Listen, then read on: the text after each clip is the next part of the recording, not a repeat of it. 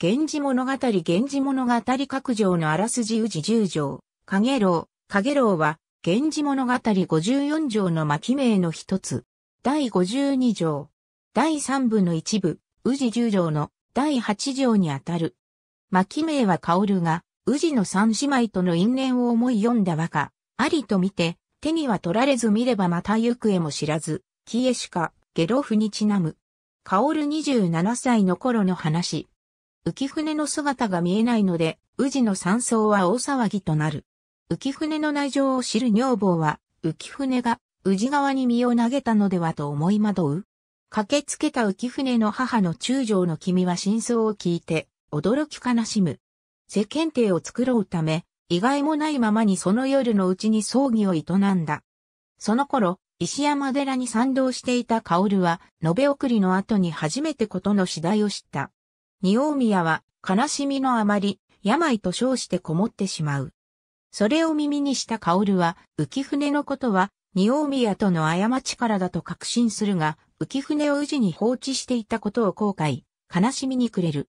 宇治を訪れた薫はここで浮船の受水を初めて知り、悲しみに沈む中将の君を思いやって、浮船の弟たちを庇護する約束をして慰めた。薫は浮船の49日の法要を宇治山の寺で盛大に営んだ。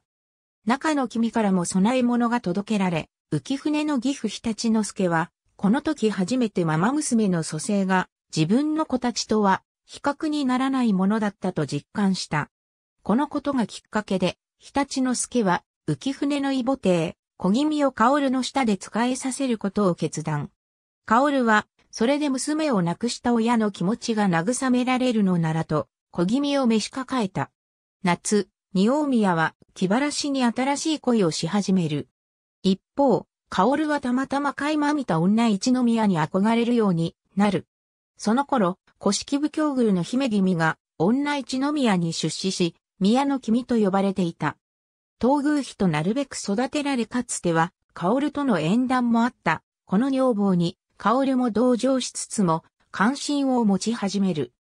それにつけても、薫はやはり、宇治の姫君たちが忘れられず、夕暮れに、儚げに飛び交う影楼を眺めながら、大君、中の君、浮船を追走した。ありがとうございます。